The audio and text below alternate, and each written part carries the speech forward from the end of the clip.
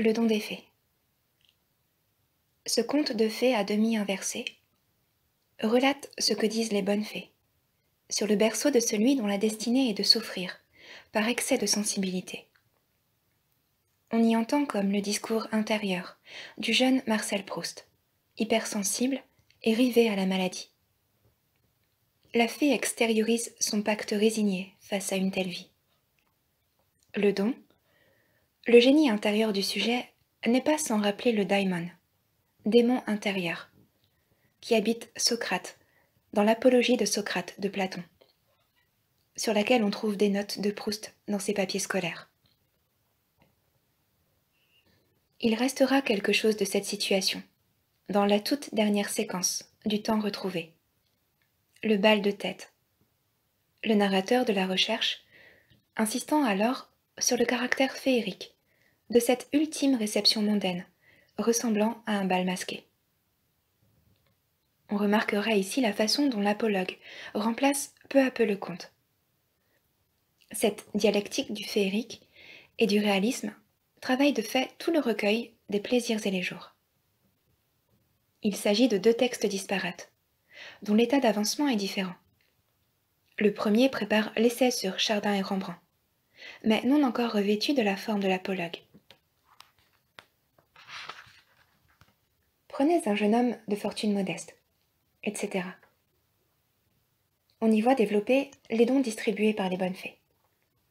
Le sujet est alors le théâtre d'illumination qui prépare celle et dans le temps perdu du héros de la recherche, jusqu'aux révélations finales qu'un brouillon du temps retrouvé appellera des illuminations à la Parsifale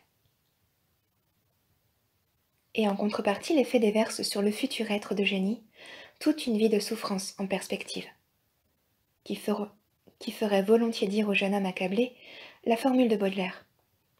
J'ai plus de souvenirs que si j'avais mille ans. Un ami épisodique de Proust, René Peter, a témoigné de ce fait que sa fréquentation de Proust se place sensiblement plus tard, en 1906. Marcel aimait beaucoup cette expression de vieux, en parlant de lui-même, se vieillissant d'une façon exagérée et presque ridicule. Et qu'ainsi, l'homme de 35 ans, frappé par cette différence d'âge fictive, instaurée avec les autres. On en lira ici l'origine et les raisons affectives. Le renoncement au plaisir des sorties est ici opposé, à la contemplation de tel arbre, de telles branches, dont Reynaldo Hahn a laissé un témoignage célèbre s'agissant de Proust, et qui, du côté de la fiction, rend d'autant plus poignante l'exclamation du héros du temps retrouvé.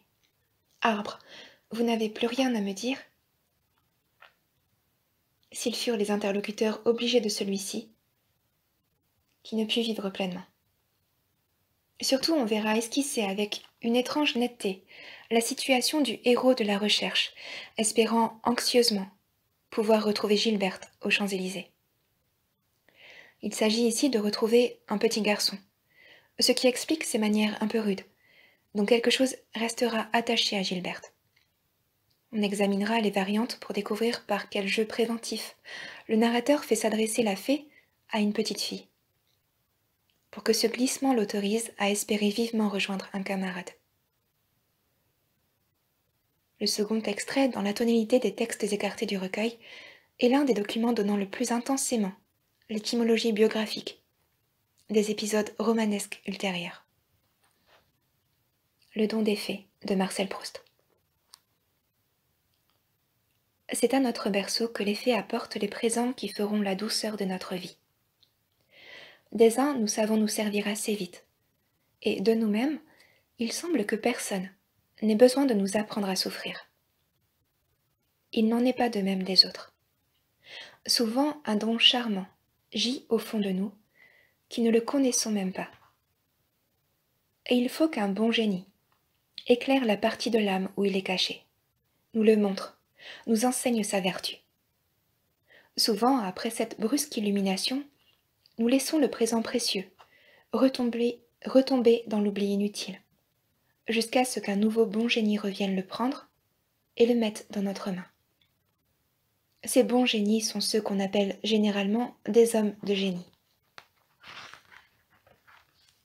À tous ceux d'entre nous qui ne sommes pas des hommes de génie, combien la vie serait sombre et morne si jamais il n'y avait des peintres, des musiciens et des poètes qui ne les avaient menés à la découverte du monde extérieur et du monde intérieur. Tel est le service que nous donnent ces bons génies. Ils nous découvrent à nous-mêmes des forces ignorées de notre âme, que nous grandissons en les employant.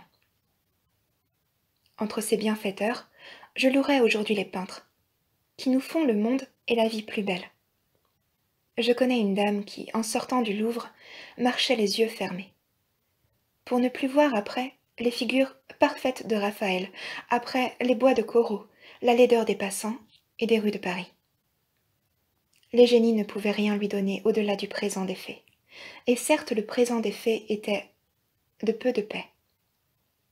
Pour moi, quand je sors du Louvre, je ne sors pas d'entre les merveilles, puisque je continue, ou plutôt je commence seulement, après cette initiation, du soleil et de l'ombre sur la pierre, une humidité lustrée au flanc des chevaux, une bande de ciel gris ou bleu entre les maisons, l'affleurement même de la vie, aux prunelles brillantes, ou rouillées des gens qui passent.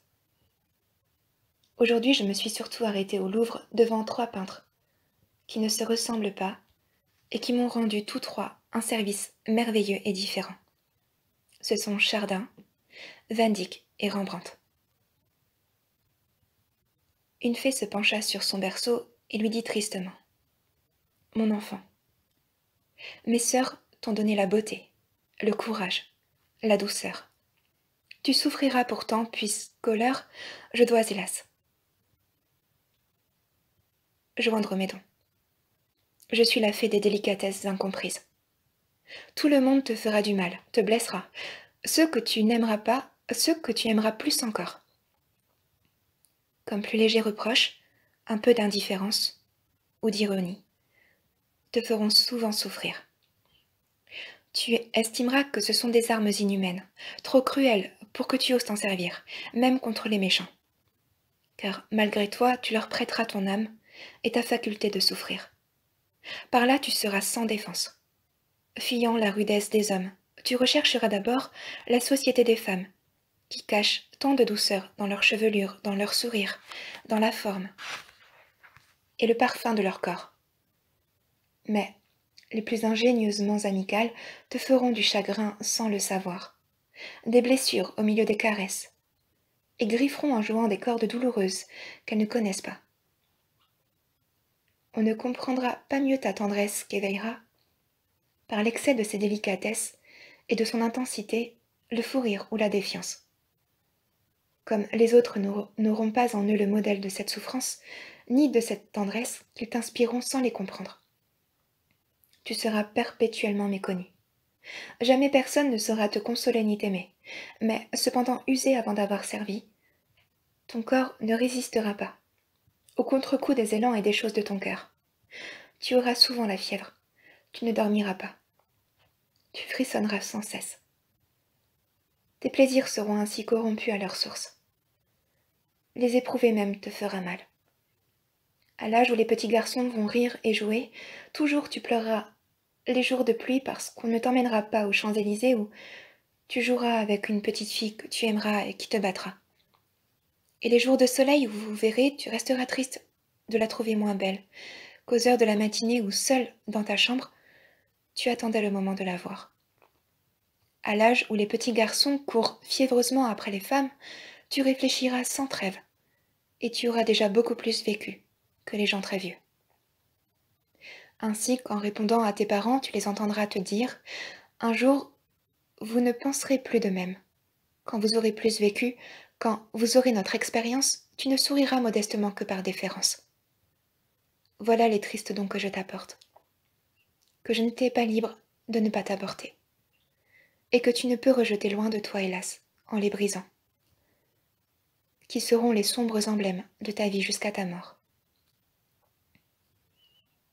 Alors une voix se fit entendre, faible et forte, légère comme un souffle et comme les limbes dont elle venait, mais dominant toutes les voix de la terre et des airs par la douce certitude de son accent. je suis la voix de celle qui n'est pas encore, mais qui naîtra de tes chagrins incompris, de tes tendresses méconnues, de la souffrance de ton corps.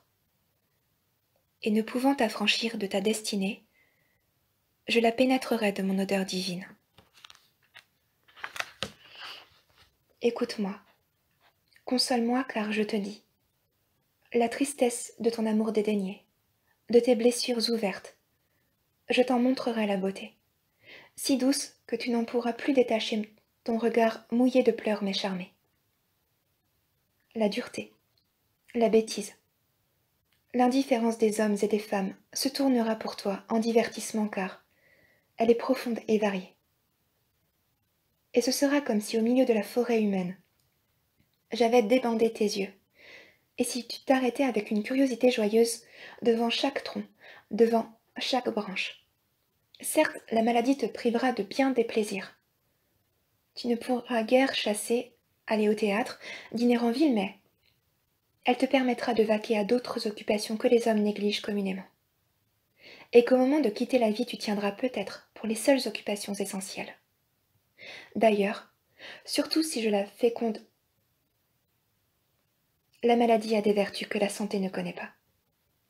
Les malades que je favorise voient souvent bien des choses qui échappent aux bien portants. Et si la bonne santé a sa beauté que les gens sains ne remarquent guère, la maladie a sa grâce, dont tu, dont tu jouiras profondément. Puis la résignation pourra fleurir dans ton cœur, que les larmes ont détrempé comme les champs après les pluies d'avril, qui sont aussitôt couverts de violettes. Pour ta tendresse, n'espère pas pouvoir jamais en faire échange avec personne. C'est une substance trop rare, mais apprends d'autant plus à la révérer. Il est amer et pourtant doux de donner sans pouvoir attendre de retour.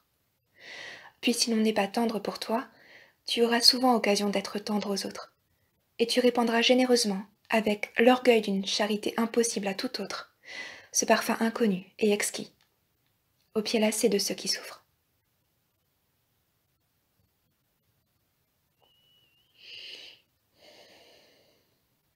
On comprend maintenant que Proust se souvenait de ce texte. Quand il écrit à propos de Ruskin dans l'article John Ruskin, Ruskin, deuxième article, donné à la Gazette des Beaux-Arts du 1er août 1900.